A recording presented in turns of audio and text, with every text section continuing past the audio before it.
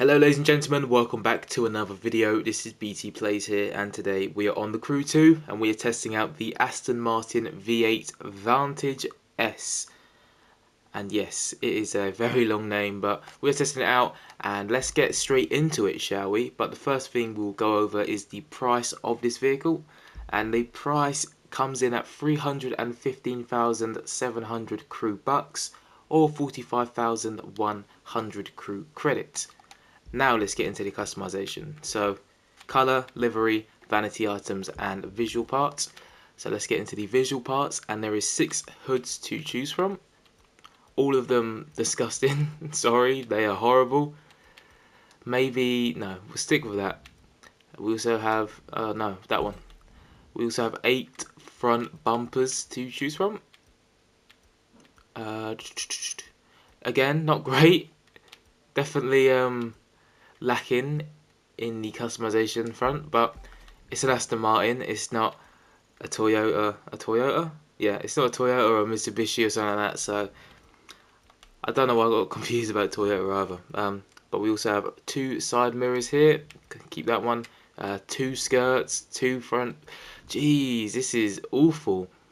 Uh, we'll put the yeah, we'll put the big boy on. Why not? Why not? It's an Aston Martin. We can do whatever we want. We have six rear bumpers as well. I don't like that anymore. We'll add that. And that is the customization done. Not much customization. And I think the tinted windows are from here, I think. Or they're livery. I don't know. They're either a livery or they're from the vanity item section. But customization was pretty bad. So let's get into the uh, performance of this vehicle. Let me take off all the 280 parts first and like I said it was um, 300 uh, yeah just over 300,000 crew bucks. So it's quite cheap for a street racing vehicle. So it's obviously uh, a low performance level. And it ha uh, does have a top speed of 189 miles per hour and 510 horsepower at its base. So let's put the 280 parts back on because obviously that's all you, uh, you care about is the 280 parts being on the 280 now on, it has a top speed of 226 miles per hour, 798 horsepower, uh, 0 to 60 in 2.37 seconds, quarter mile in 9.43 seconds, brake distance 60 to 0 is 18.1 yards. So let's get into an event and I will see you there in a second. Right, let's test out this vehicle shall we? It does look quite nice, I won't lie, I do like an Aston Martin. Personally, the Vanquish is always going to be lovely, and the Vulcan, obviously. But all Aston Martins are very, very nice looking, coming from a Brit. So, yeah. But let's test out this vehicle. Does it have what? got rally lights at the front. Why is it no? Okay. Oh, this thing sounds quite meaty as well. This thing sounds decent. It's either me going insane or is his headset? Because I've got a new headset. So maybe it could be that. But the vehicles recently have been sounding a lot better on this game and I don't think that's a coincidence whatsoever. I think it is this headset so. Maybe uh, all the vehicles I've tested this whole time have been decent. Or decent sounding. But so far it's putting in a shift and it's doing very well. It's very quick as well. Look at it. Look at its speed. In the snow as well we are speeding Handling, a bit heavy, but bearable. But overall, I am impressed. For 300k as well, not a bad price. And it's putting in an absolute shift here.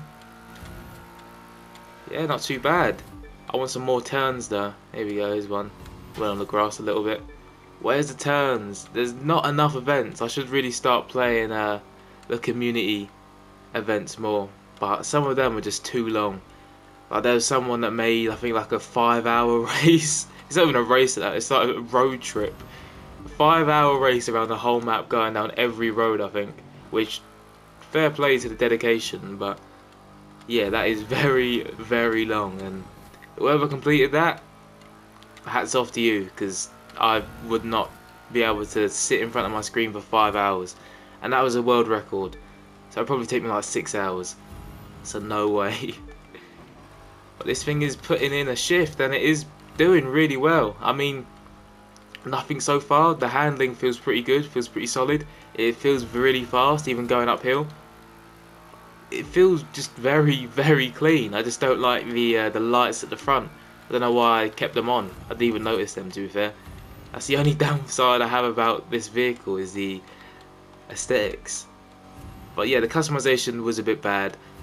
But the performance, I think, is making up for it. And the price, it's not too expensive for a street racing vehicle. And very, very solid as well. Look, we are just going uphill and we are just staying at 200. Crazy.